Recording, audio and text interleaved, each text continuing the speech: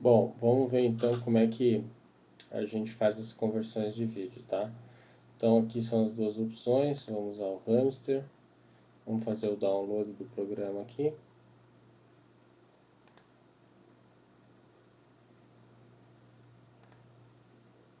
Já foi feito o download, tá aqui o programinha, vamos executar.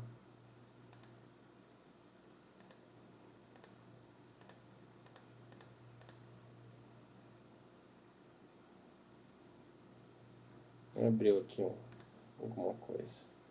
Tá? Então está concluído, está aqui o programa.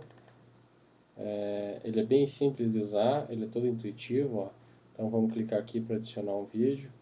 Vamos adicionar esse vídeo formato FLV aqui, que eu nem sei o que, que é.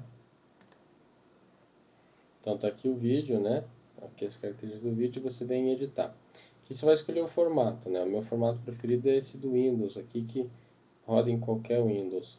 Mas olha que legal aqui, ó, para quem trabalha com dispositivos, ó, pode passar para o celular Nokia ou para Xbox ou PlayStation, tem várias opções de, de equipamentos aqui.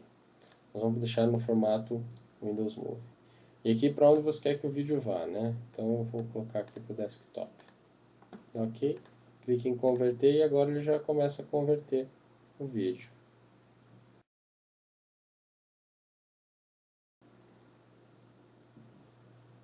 Pronto, terminou de converter. Vou fechar aqui.